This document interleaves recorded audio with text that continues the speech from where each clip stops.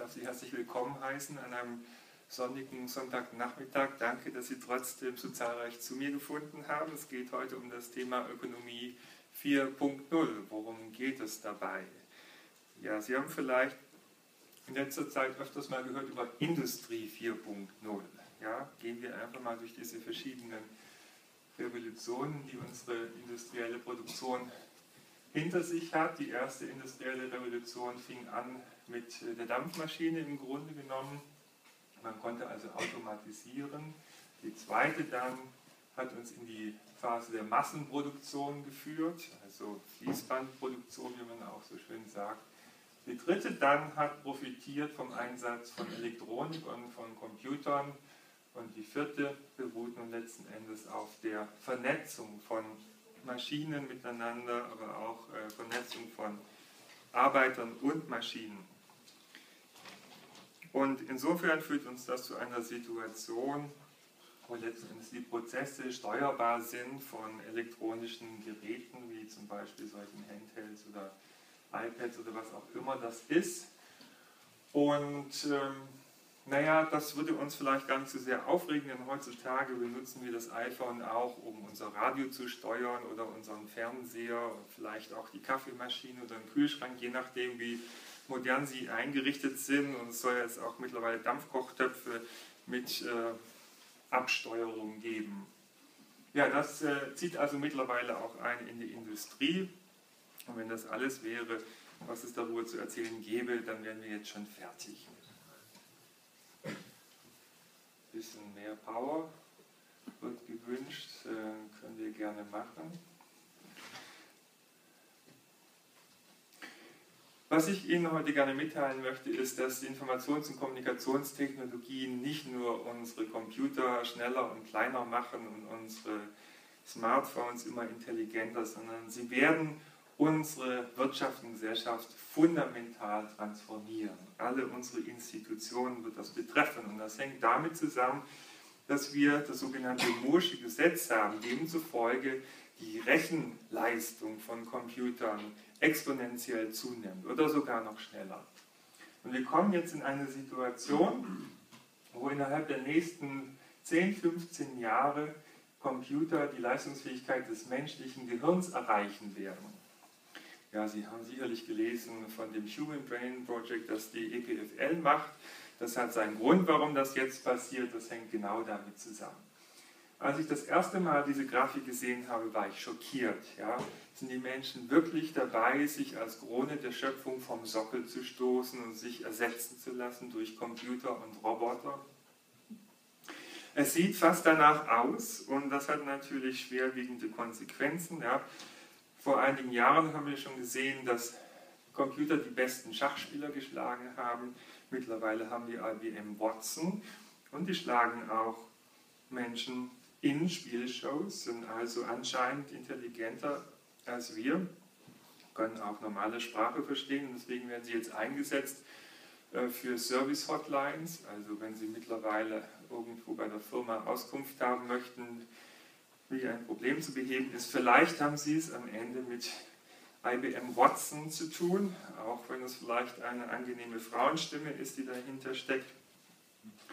Das funktioniert angeblich besser, als das äh, echte Menschen sozusagen liefern können. Und das heißt insbesondere, dass natürlich auch Arbeitsplätze verloren gehen werden. IBM investiert jetzt eine ganze Milliarde in dieses System, um letzten Endes neue Geschäftsfelder zu erschließen. Aber wir stehen vor einer zweiten Revolution, der Big Data Revolution. Mittlerweile werden von unseren Computern, dem Internet, äh, den Smartphones ähm, so viel Data produziert in einem Jahr wie in der gesamten Menschheitsgeschichte zusammen. Das heißt, uns steht ein Data-Tsunami bevor. Und was wird der nun letzten Endes bewirken? Ich denke, wir werden sehr viele gravierende Änderungen sehen. Das wird auch letzten Endes das Erziehungssystem betreffen, Schulen und Universitäten, die Art und Weise, wie wir lehren. Ähm, wird also personalisierte Erziehung geben, abgestimmt auf die Interessen und äh, individuellen Fähigkeiten. Wir sehen, dass sich unsere Forschung ändert mit Big datengetriebene Forschung betreiben. Auch die Art und Weise, wie wir uns fortbewegen, wird sich ändern. Wir werden selbstfahrende Fahrzeuge haben, vielleicht in Kürze werden Sie Google Car oder auch entsprechende Fahrzeuge von Mercedes kaufen. Und ähm, dann müssen Sie sich also nicht mehr in den Stau hineinbegeben, sondern legen einfach Ihren Einkaufszettel sozusagen ins Handschuhfach und schicken Ihr Auto zum Shop und das kommt dann hoffentlich äh, mit den Waren zurück, die Sie haben wollten. Können Sie natürlich auch einfacher haben, denn heutzutage kaufen wir oft schon bei Amazon, bei eBay ein und Sie bekommen dann einfach die Sachen nach Hause geliefert. Sie buchen Ihren Urlaub dort, Ihre Flugreisen, was auch immer. Also wir sehen, wie stark wirklich alles im Umbruch begriffen ist. Auch die Produktion. 3D-Printer werden kommen. Sie können Dinge jetzt zu Hause produzieren, wenn Sie wollen. Das Gesundheitssystem wird sich ändern mit personalisierter Medizin. Wir werden Medikamente abgestimmt haben auf äh, die einzelnen Patienten, sodass sie besser wirken. Aber dass letzten Endes auch die Nebenwirkungen minimiert werden. Das wird auf der Basis von genetischen Daten, von Gesundheitsdaten und Verhaltensdaten wahrscheinlich geschehen. Die Politik wird sich ändern, die Bürger möchten mehr Mitspracherecht in vielen Teilen der Welt und auch natürlich die Ökonomie und äh, darum wird es in einem Vortrag schwerpunktmäßig geben. Das Finanzbusiness ist nicht mehr das, was es war.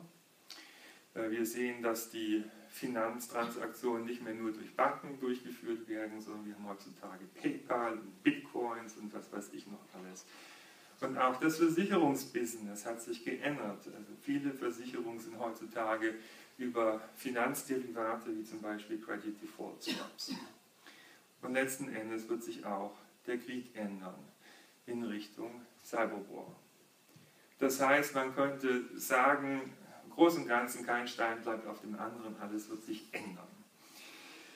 Und äh, das muss man sich schon zu Herzen nehmen, wenn man sich das in historischer Perspektive anschaut. Da hatten wir nämlich verschiedene Phasen unserer Wirtschaftsproduktion. Äh, klassischerweise drei verschiedene Sektoren, von denen man spricht, den Agrarsektor, den Industriesektor und den Servicesektor.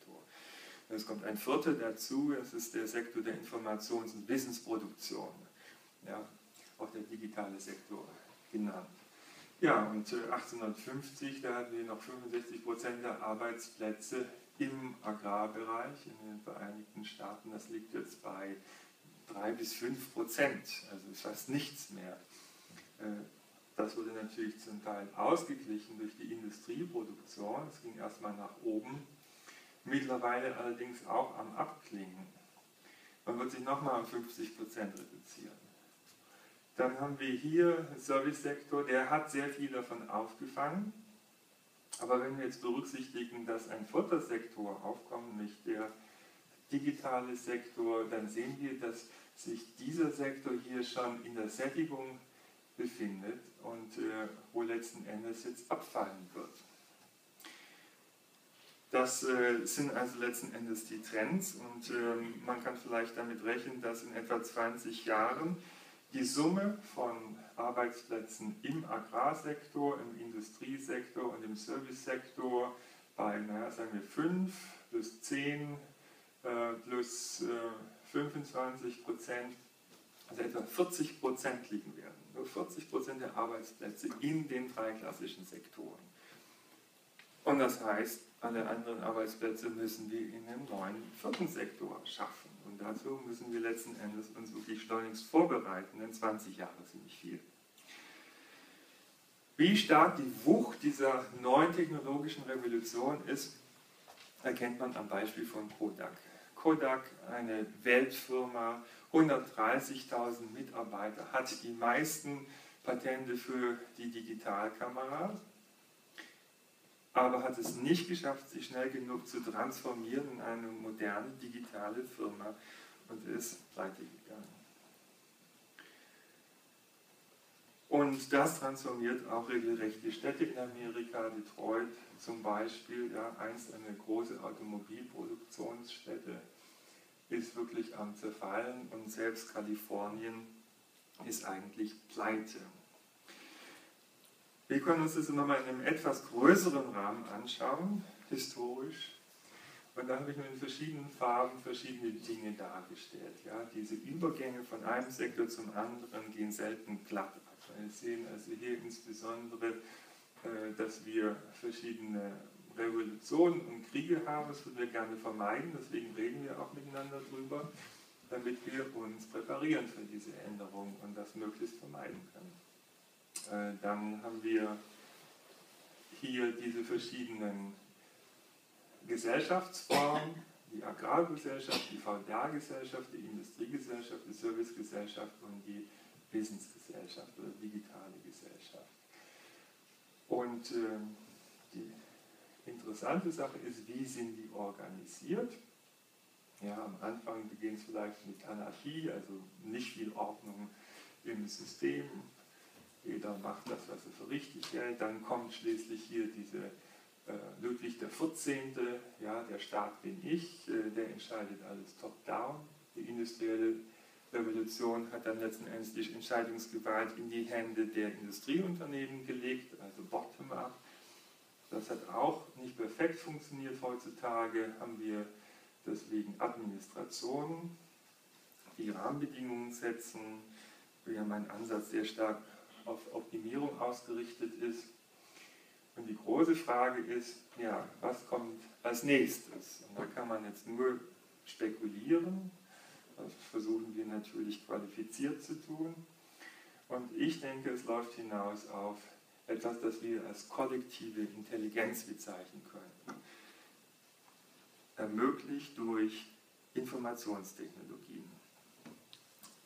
So, ich wollte Ihnen keine Angst einjagen. Während das äh, wirklich ein ernstes Szenario ist, ist es so, dass äh, diese Änderungen auch große Chancen mit sich bringen für die Zukunft. Und leider Gottes will die Technologie nicht, dass ich Ihnen über diese Chancen erzähle. Aber wir lassen uns nicht einschüchtern. So, also riesige Potenziale, die möchte ich in den Vordergrund stellen. Und diese Grafik hier wurde von McKinsey erstellt und die besagt uns, was die Chancen alleine von Open Data sind. Drei bis fünf Billiarden Dollar pro Jahr. Das ist ja schon mal nicht schlecht, würde ich sagen. Also sehen wir zu, dass wir als Schweiz uns möglichst ein großes Tortenstück davon abschneiden. Was müssen wir aber tun, um letzten Endes dieses Wirtschaftspotenzial aufzuschließen? Um das zu erläutern, erzähle ich erst einmal vom Automobilzeitalter. Das können wir besser beurteilen, weil das haben wir quasi in großen Teilen schon hinter uns. Ja? Äh, dort mussten wir zunächst einmal lernen, wie man Explosion umwandelt in gerichtete Energie. Also die Naturgewalten zähmen, das haben wir getan durch die Erfindung des Motors. Aber mit dem Motor ist es nicht getan, wir müssen auch das Auto erfinden. Ja, ganz schön kompliziert, wie man sieht.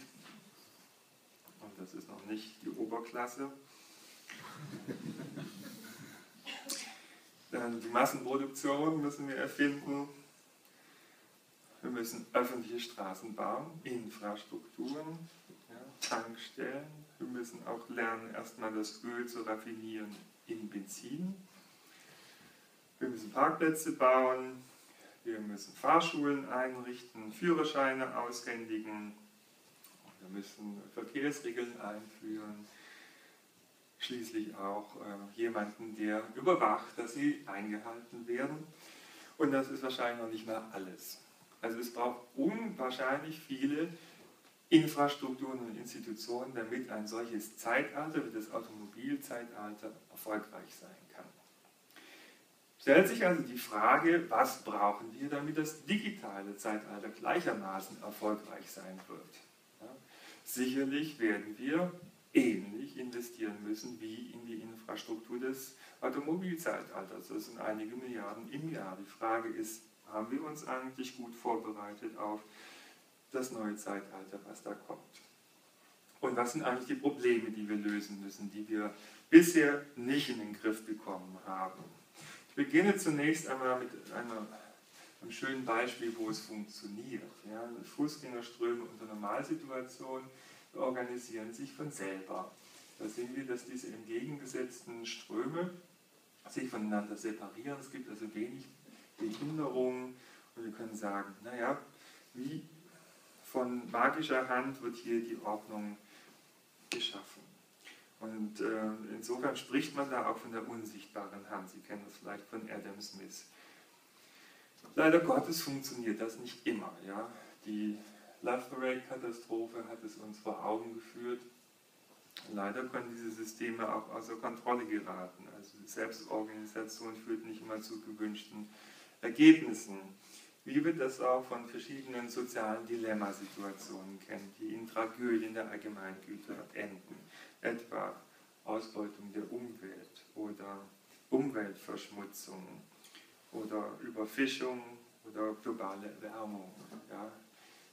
Gehen wir davon aus, keiner möchte den Planeten zerstören und trotzdem passieren Dinge, die wir nicht für gut halten können. Die Frage ist, warum ist das so? Warum kriegen wir das nicht in den Griff? Ja, Kooperation wäre günstig für alle, aber es scheint, sie scheint nicht stabil zu sein. Und um Ihnen die Gründe zu erklären, bringe ich Ihnen ein anderes Beispiel, was wir aus dem Alltag kennen besser verstehen können. Ja? Es ist eigentlich nicht schwierig, im Kreis zu fahren, würde man denken. Bisher geht es auch alles gut hier. Aber dann, nach einiger Zeit, werden wir sehen, entsteht so eine kleine zufällige Störung im Verkehrsfluss, zack, und jetzt haben wir schon den Stau. Ja, die Fahrzeuge müssen alle anhalten. Und man fragt sich eigentlich, was ist da los? Ja, Stau aus dem Nichts, kein Unfall, keine Baustelle, einfach da und wird es nicht wieder los. Ja, da würde man jetzt äh, wahrscheinlich hingehen als Soziologe und die Autofahrer fragen, also was ist denn da eigentlich passiert? Und wahrscheinlich würden die Autofahrer sagen, ja, da war irgend so ein Idiot vor mir, der nicht richtig Auto fahren konnte. Nun, von der physikalischen Perspektive wissen wir es besser. Wir wissen, wenn die Dichte zu hoch wird, dann werden die Abstände gering.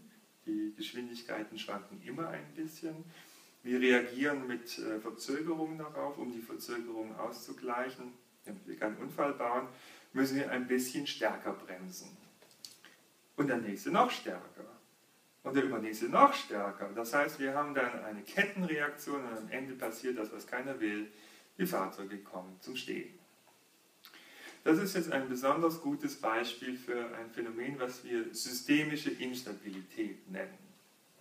Ein System, in dem selbst wenn alle bestens ausgebildet sind, die Informationen haben, die es zu brauchen scheint, ähm, die richtige Technologie und die allerbesten Absichten. Wenn das System sich in einem instabilen Zustand befindet, können Sie sich bemühen, wie Sie wollen. Früher oder später wird es außer Kontrolle geraten. Und dann passiert letzten Endes die Katastrophe. Beim Stau ist sie nicht ganz so groß, die Katastrophe. Und dieses Beispiel soll ein bisschen illustrieren, dass wirklich eine einzelne Störung ausreichen kann, um ein solches System, das Kettenreaktionen zeigt, aus dem Gleichgewicht zu bringen und sozusagen die ganze Welt durcheinander bringen kann.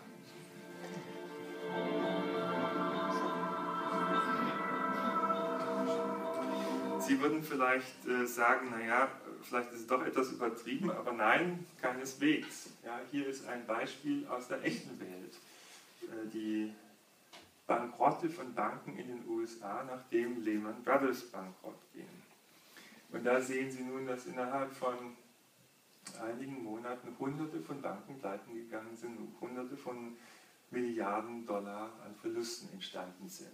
Genau das gleiche Phänomen.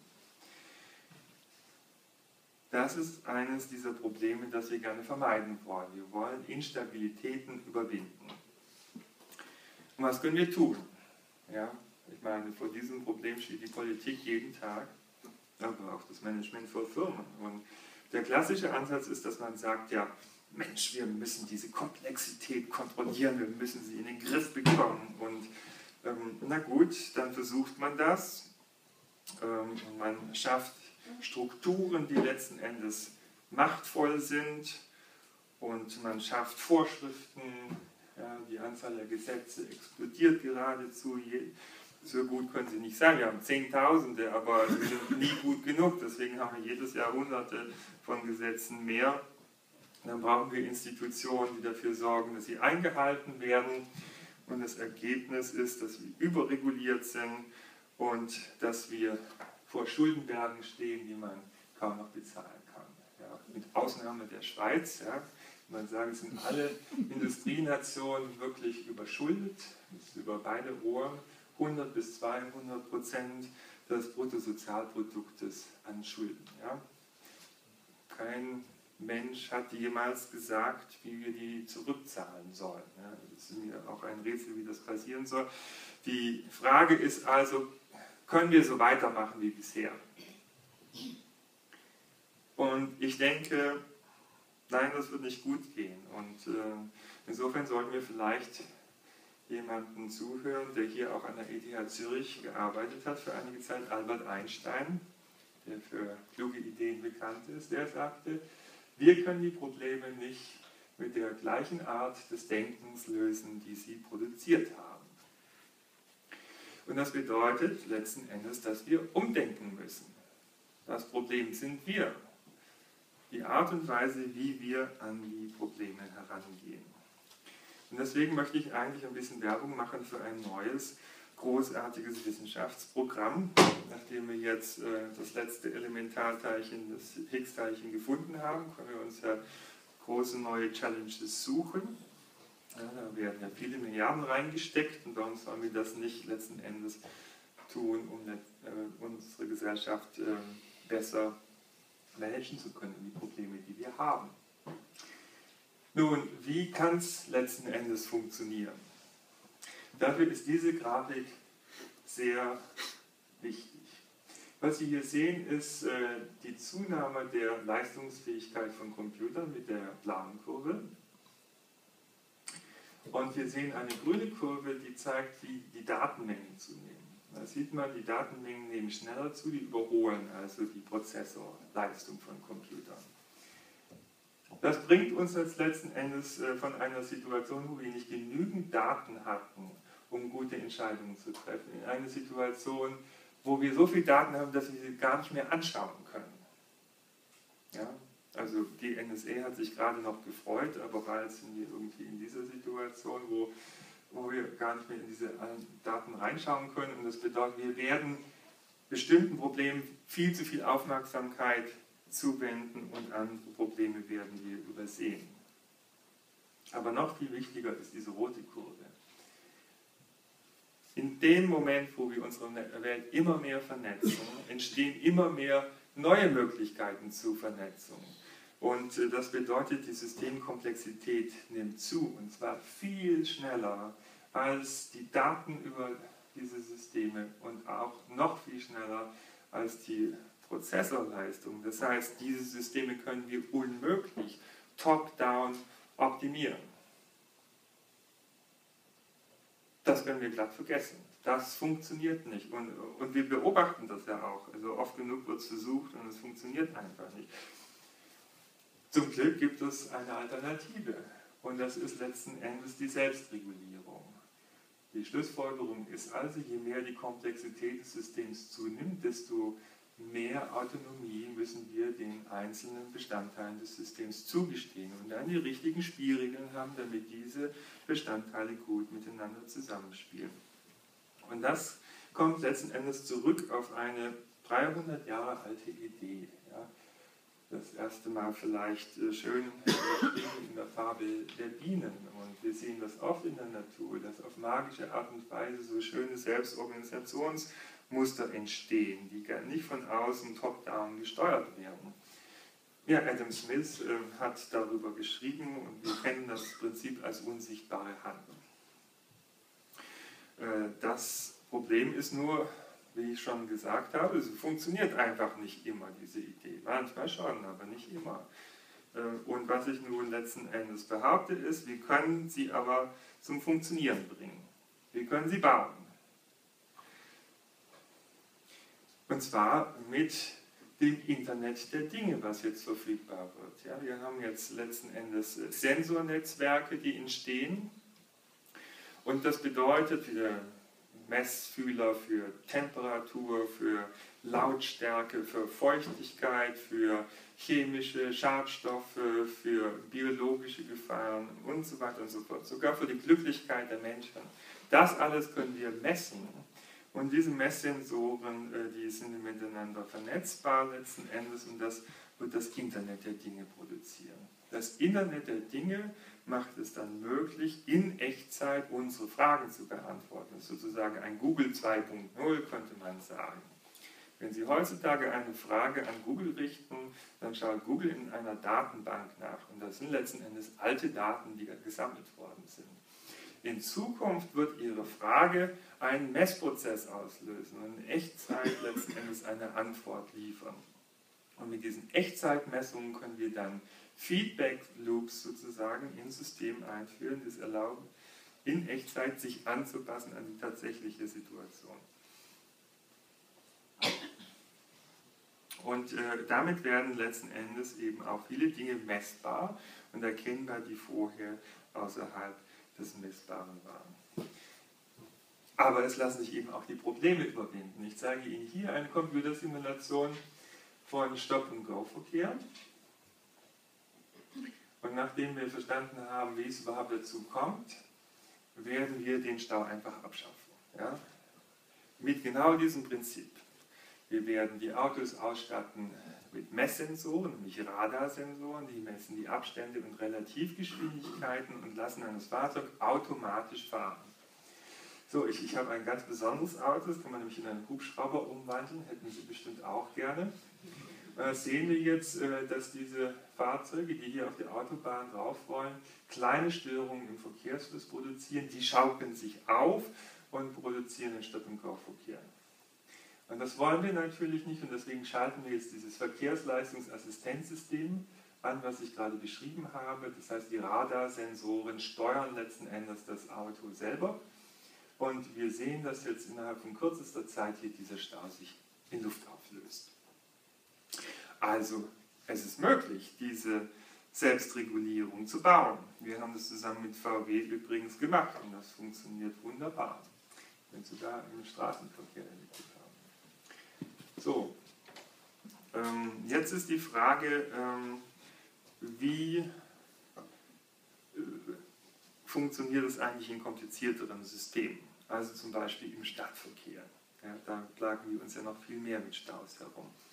Und da möchte ich jetzt äh, drei verschiedene Organisationsprinzipien miteinander vergleichen. Das erste ist das, was wir heutzutage noch haben. Äh, das ist die Top-Down-Steuerung, die versucht, den Stadtverkehr zu optimieren über eine Verkehrsleitzentrale, die Daten überall aus der Stadt sammelt. Da gibt es also Messsensoren unter der Straße und die schicken ihre Daten zu dieser Verkehrszentrale. Die ist ziemlich teuer, die kostet einige Millionen, denke ich. Ähm, und dort versucht man optimale Steuerung herauszufinden und das wird dann in der gesamten Stadt implementiert. Ja. Ähm, wir könnten das als den wohlwollenden Diktator bezeichnen. Ja? Also versucht, den Job eben so gut wie möglich zu machen. Das wollen wir jetzt mal vergleichen äh, mit einer Bottom-up Selbstorganisation, wie wir das in der Ökonomie immer als gegeben annehmen, wo jede Straßenkreuzung separat die Wartezeiten minimiert. Also mathematisch ist es machbar, ist nicht so furchtbar schwierig, trotzdem möchte ich Ihnen die Formeln hier ersparen. Und dann haben wir hier noch ein drittes Prinzip, da versuchen wir das Gleiche, aber wir nehmen Rücksicht auf die Nachbarn. Nämlich dann, wenn die Warteschlange zu lang wird, dann bedienen wir erstmal die, selbst dann, wenn die, äh, die Wartezeiten nicht minimiert werden. Also eine rücksichtsvolle Optimierung. Jetzt schauen wir einfach mal, was dabei herauskommt. Ja, wir fangen an mit dieser roten Kurve. Und äh, das ist diese Top-Down-Regulierung. Äh, wenn wir die Befüllung äh, der Straße, der, der Kreuzung erhöhen, dann erhöht sich natürlich auch die Warteschlangenlänge der Fahrzeuge. Ja, das ist klar. Und äh, das wollen wir jetzt mal vergleichen mit dieser Selbststeuerung, ja, wo jede Kreuzung tatsächlich die Wartezeiten zu minimieren versucht. Und dann sehen wir, Mensch, das ist ja viel besser. wesentlich kürzere Warteschlangen. Ja, ziemlich erstaunlich.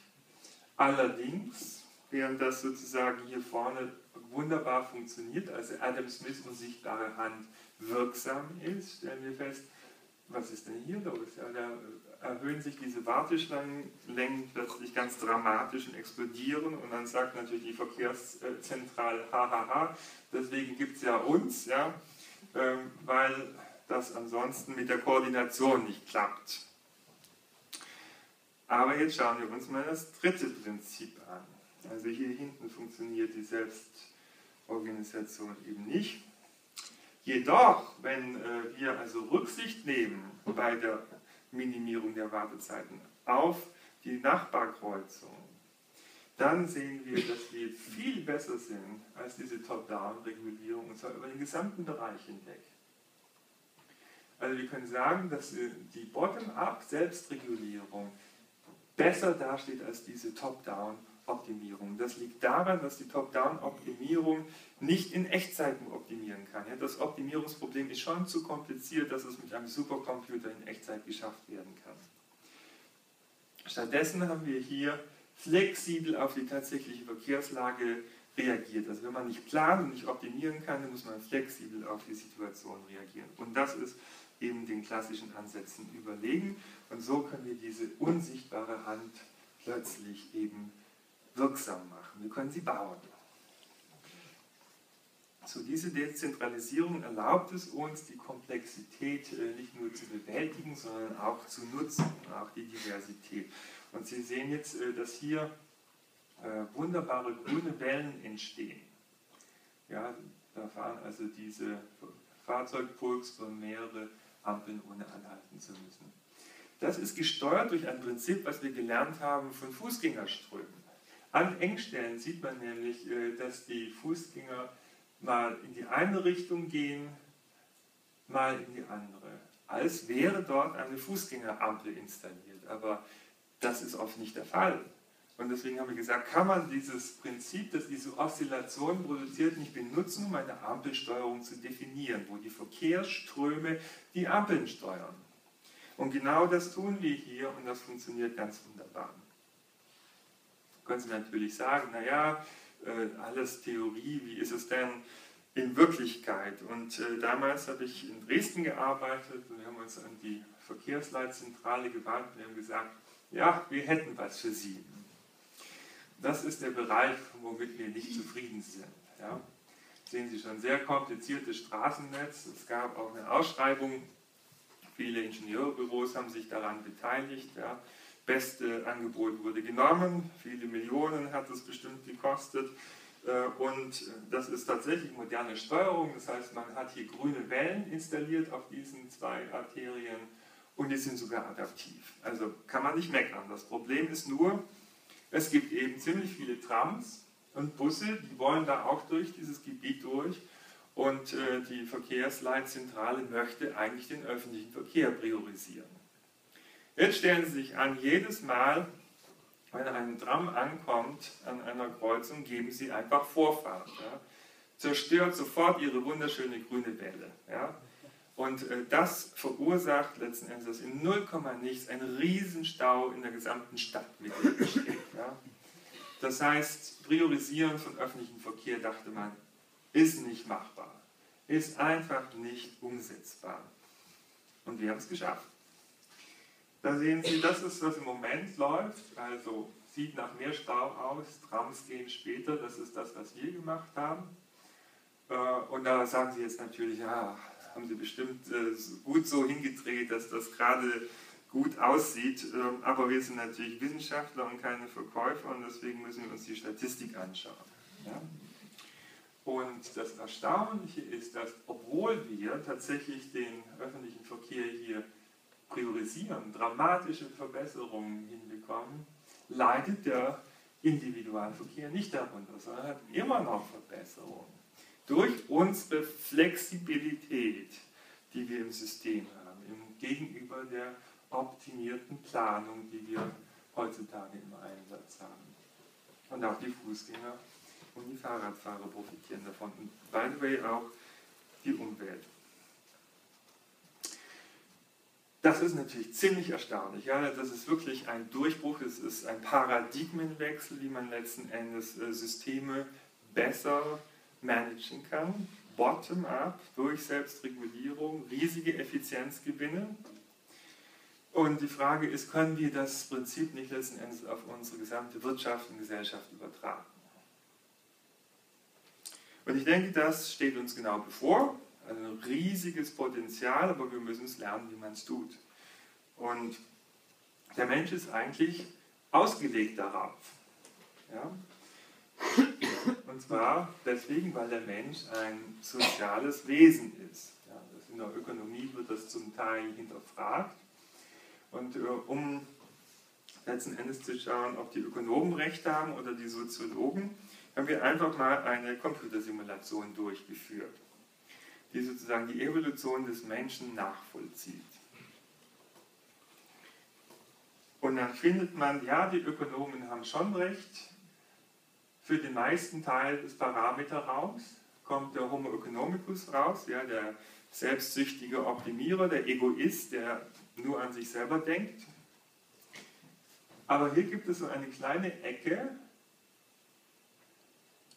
wo äh, der soziale Mensch äh, resultiert, der freundlich ist und der letzten Endes Rücksicht nimmt auf andere. Und das ist es eben spannend zu sehen, ja, unter welchen Voraussetzungen haben wir eigentlich hier diesen sozialen Menschen als Ergebnis. Und dann stellt sich heraus, es passiert genau dann, wenn die Nachkommen, also ihre Kinder, aufwachsen bei ihnen, im Vergleich zur Situation, wo die anderswo aufgezogen werden.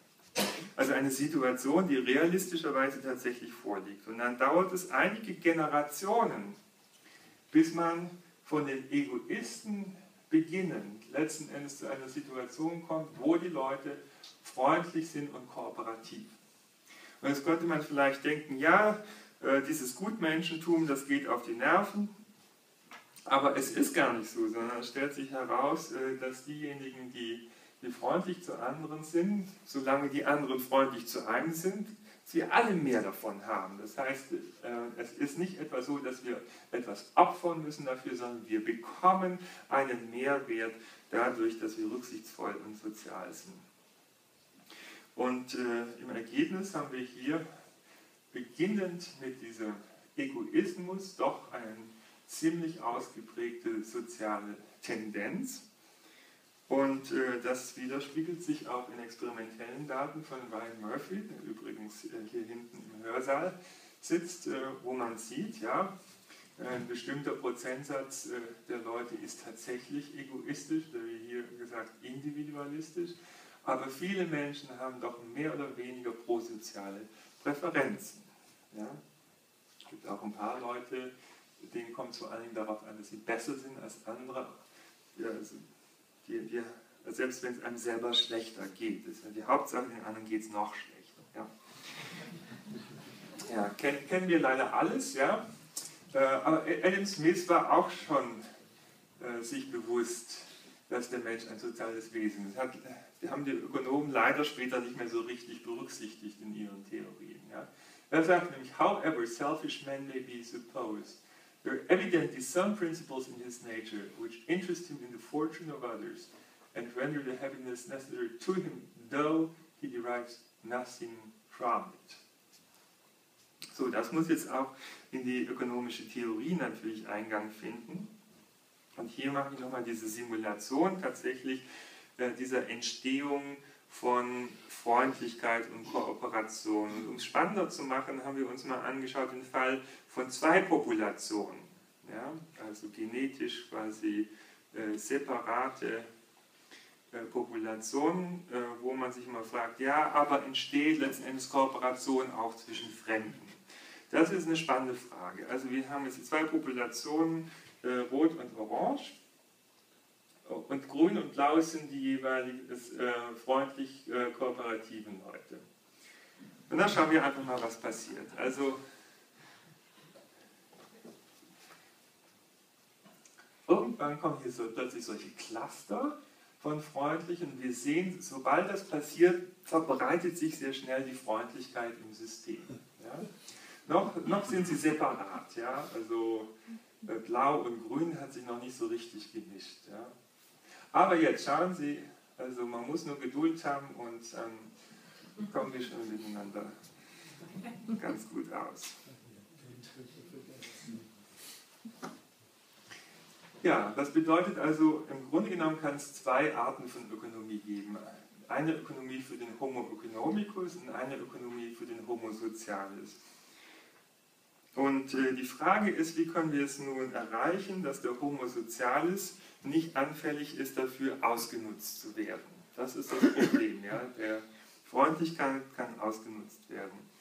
Und ein Mechanismus, der helfen kann, das zu vermeiden, sind Reputationssysteme. Also wir können sozusagen Institutionen schaffen, äh, die äh, eine Ökonomie auf der Basis dieses Homo Soziales ermöglicht und der Vorteil des Homo Sozialis ist eben, dass er die Tragödien der Allgemeingüter überwinden kann, die wir vorher diskutiert haben, die globale Erwärmung, die Überfischung und so weiter und so fort, während das der Homo economicus nicht schafft. Und Umverteilung löst das Problem auch nicht. Also ich plädiere nicht für Umverteilung hier. Das Interessante ist, diese Reputationssysteme sind gut für jedermann. Also sowohl für die Händler als auch für die Käufer. Für die Käufer, weil sie letzten Endes die besseren Produkte finden, einen besseren Service. Für die Händler aber, weil sie einen höheren Preis nehmen können. Also machen wir das doch einfach. Und insofern stehen wir jetzt, glaube ich, letzten Endes im Übergang zu dieser neuen digitalen Wirtschaft, der Ökonomie 4.0. Und wie wird die funktionieren? Ich denke, wir werden wegkommen mehr und mehr von Top-Down-Kontrolle zu einer Kultur der Ermöglichung. Das heißt, weg von dieser Situation, wo alles ganz genau vorgeschrieben ist, was man zu tun und zu lassen hat, zu einer Situation, die den Menschen hilft, die richtigen Entscheidungen zu treffen. Informationen, die ihnen ermöglichen, bessere Entscheidungen. Und ich äh, illustriere das gerade mal mit diesem Video. Da sehen Sie, dass trotz dieser enormen Diversität hier fast niemand anhalten muss. Das ist also eine fast perfekte Selbstorganisation. Und da fragen Sie sich natürlich, warum funktioniert das nicht immer so? Das hat seine Gründe. Ja, wir haben diesen entgegengesetzten Verkehr nämlich separiert voneinander. Wir haben die eine Richtung hier die andere Richtung dort und dazwischen ist ein, dazwischen ist ein kleiner Puffer, der es den Verkehrsteilnehmern ermöglicht, die Geschwindigkeit so anzupassen, dass man gerade eine Lücke findet. Also es ist eine Frage des institutionellen Designs. Und insofern geht es darum, wie können wir eigentlich Optionen, wie können wir Gelegenheiten, wie können wir Möglichkeiten kreieren. In diesem Zusammenhang ist es vielleicht interessant, Zara zu nennen. Ja? Eine Modekette, die ähm, eine der erfolgreichsten überhaupt ist. Äh, innerhalb von äh, wenigen Jahren hat der Eigentümer viele Milliarden scheffeln können. Das sei ihm sehr gegönnt. Und wie hat er das gemacht? Ähm, er hat seinen Modedesignern enorm viel Freiheiten gelassen. Ja, und dann ist Folgendes passiert, Madonna trat irgendwo auf äh, in diesem Kostüm und dann haben die gesagt, in 0, nichts produzieren wir das und beim nächsten Konzert in Spanien hatten alle Fans das an. Ja? Riesiger Kassenschlager, riesiger Erfolg. Das schaffen sie aber nicht, wenn sie lange Wege haben, ja? von unten bis zur Firmenspitze und dann wieder zurück alles genehmigen lassen müssen, sondern das erfordert eine Kultur, der Ermöglichung. Das geht nicht immer gut, aber im Durchschnitt funktioniert das eben besser als äh, das, was wir im Moment oft haben. Nun können Sie vielleicht sagen, naja, das, was Sie beschreiben, Herr Helbing, hört sich alles so ein bisschen träumerisch an und utopisch, wird es jemals kommen? Und äh, da würde ich behaupten, es steht eigentlich schon vor der Tür. Es ist auf dem Weg. Ja? Ähm, je mehr ich mich nämlich umschaue und insbesondere im Silicon Valley, desto mehr sieht man, dass diese Dinge tatsächlich schon unterwegs sind. Ja? Beispiel Wikipedia. Kostenlose Informationsplattform von Hunderttausenden von Leuten betrieben, von Milliarden von Menschen, genutzt. Erfolgreicher als jede Enzyklopädie. GitHub, letzten Endes das Coding-Portal, wo Leute ihre Codes ablegen, sie von anderen weiter benutzen können, beschleunigt unglaublich die Entwicklung von neuen Ideen in diesem Bereich. Dann kommt mittlerweile eine Sharing Economy auf, ja, dass plötzlich die Leute merken, Mensch, warum braucht jeder ein Auto, warum braucht jeder eine Bohrmaschine, können wir das uns nicht irgendwie ausleihen, können wir das nicht teilen? Und es gibt mittlerweile Portale, die das koordinieren und damit lässt sich viel Geld machen. Es sind Wachstumsraten von 20 Prozent in diesem Bereich. Also das ist äh, nicht etwa Kommunismus, der hier passiert, sondern das ist ein marktwirtschaftliches Prinzip.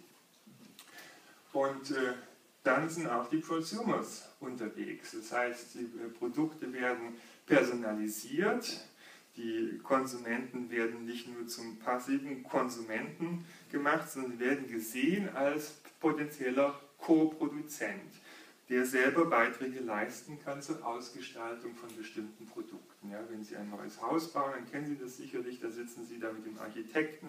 Wenn Sie ein teures Auto kaufen, dann wollen Sie auch natürlich Ihre einzelnen Stoffe und Ihre Felgen und alles Mögliche bestimmen. Das ist im Grunde genommen schon die Vorstufe davon. Äh, in Zukunft werden Sie vielleicht Ihre eigene Musik machen. Ja, zu Weihnachten habe ich schon Leute getroffen, die genau das tun. Sie werden ihre eigenen Produkte vielleicht designen mit ihren Freunden, mit ihren Verwandten, mit ihren Kollegen oder Leuten aus anderen Kontinenten, die sie vorher gar nicht kannten. Und das können sie dann zu Hause produzieren oder in jedem Land der Erde ausdrucken lassen auf dem 3D-Drucker. Und die Plattform, die letzten Endes diese neuen Projekte und Produktionsmöglichkeiten ermöglichen, sind die sozialen Medien. Ja?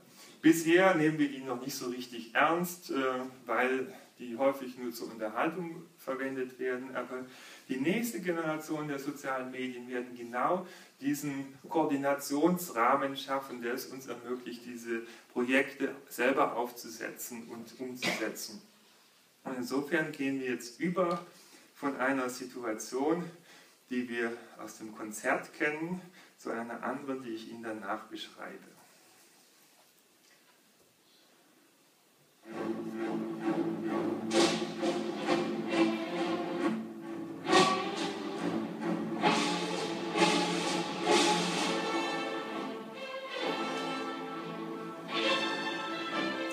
Also sehen, ganz wichtig natürlich der Dirigent, der hat alles im Griff, ja. ja muss auch ein bisschen finster und äh, furchterregend reinschauen. Ja, gutes Beispiel.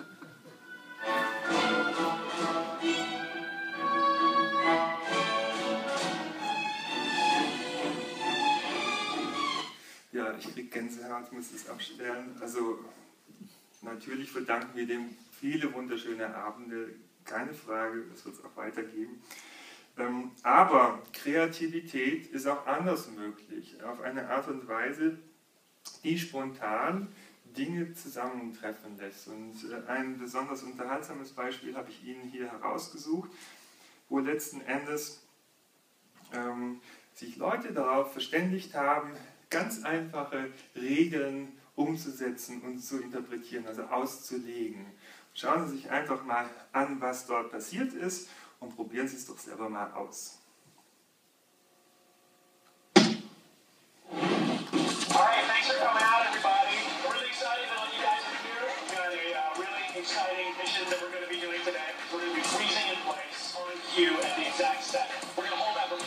Also die Aufgabe ist, einfach einzufrieren zu einem bestimmten Zeitpunkt und sich nicht mehr zu bewegen. Wir werden sehen, jeder legt es auf seine Weise aus. Also eine Art Performance der modernen Art.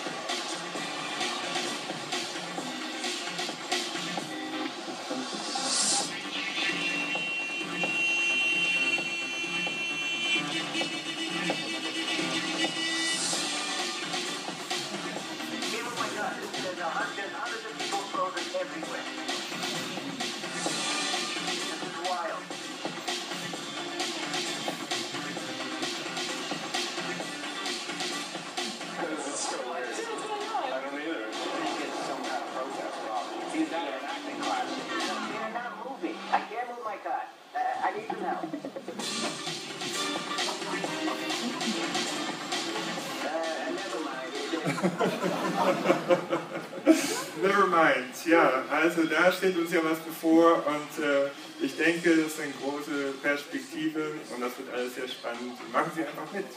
Vielen Dank.